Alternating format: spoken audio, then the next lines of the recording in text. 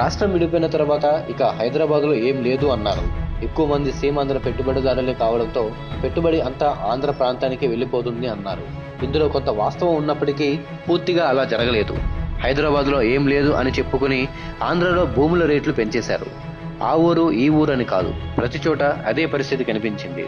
ఇక అమరావతి ప్రకటన రాగానే బెంజ్ నుంచి ఆల్ట్ వరకు బడా చోట రియాల్టర్లు దిగిపోయారు.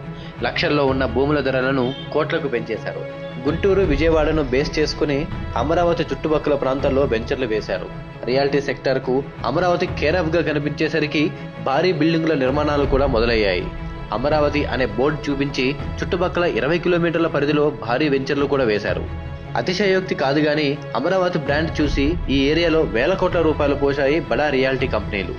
ముఖ్యంగా ఎన్నికలకు కొన్ని నెలల ముందు రాజధాని ప్రాంతంలో రియల్ ఎస్టేట్కు వచ్చిన భూమ్ అంతా ఇంతా కాదు. హైకోర్టు నిర్మాణం పూర్తి చేసుకుని కొలువుదీరడంతో దాని చుట్టుపక్కల ప్రాంతాల్లో ధరలకు రెక్కలొచ్చాయి. అమరావతి కోసం అని చెప్పి పవిత్ర సంగమం నుంచి ఇబ్రహీంపట్నం వరకు ఐకానిక్ బ్రిడ్జ్ నిర్మిస్తామని గత ప్రభుత్వం చెప్పింది. చెప్పడమే కాదు శంకుస్థాపన కూడా చేసింది. దీంతో రియల్ ఎస్టేట్ దూకుడు మరింత పెరిగింది. ఇవన్నీ చూసిన స్థిరాస్తి వ్యాపారులు కోట్లకు కోట్లు గుమ్మరించారు. కానీ ఇప్పుడు పరిస్థితి చూస్తుంటే ఆ పెట్టుబడులన్నీ భూస్థాపితం అయినట్టే కనిపిస్తోంది. అమరావతిలో ఈ పరిస్థితికి కారణం ఖచ్చితంగా ప్రభుత్వ తీరే. ఇన్సైడర్ ట్రేడింగ్ భూములు కొన్నవారిపై ఏసీబీ కేసులు పెట్టేసరికి ముందు జనాల్లో భయాలు పెరిగిపోయాయి. తాము కొనాలనుకునే ఫ్లాట్ లేదా ఫ్లాట్ అక్రమం అని లాగేసుకుంటే ఏంటి పరిస్థితి అని ఆగిపోతున్నారు. ఇక హ్యాపీనెస్లో అపార్ట్మెంట్లు కొన్న వాళ్ళ పరిస్థితి చెప్పక్కర్లేదు. రాజధాని తరలిపోయింది విలువ పడిపోయింది.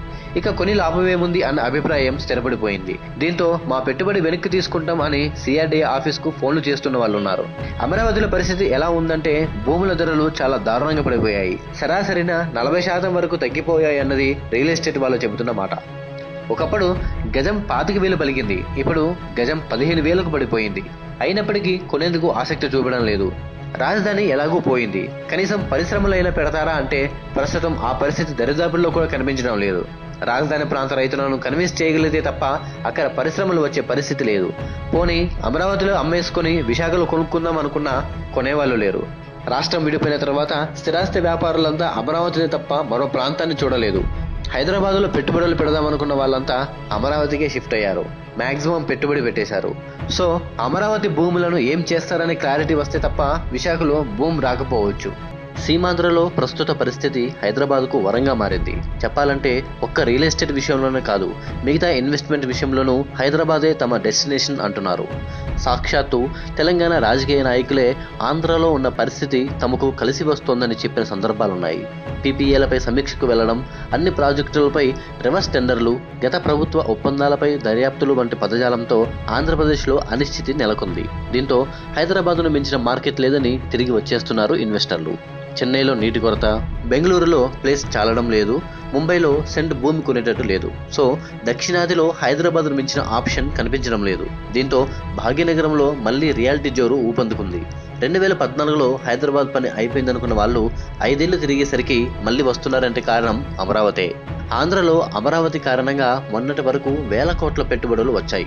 ఇప్పుడు అదే అమరావతి ముక్కలయ్యేసరికి ఆ పెట్టుబడులన్నీ హైదరాబాద్కు వచ్చేస్తున్నాయి.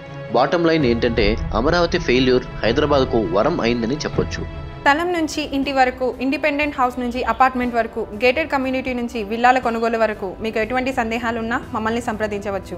మా ప్యానెల్ సభ్యులు లీగల్గాను ఫీల్డ్ లెవెల్లోనూ సర్వే చేసి రిపోర్ట్ ఇవ్వడం జరుగుతుంది. పెట్టుబడిలో మీ భద్రతే మా బాధ్యతగా భావిస్తుంది రియాలిటీ టీవీ. మా phone number zero four zero four zero one seven three nine eight two.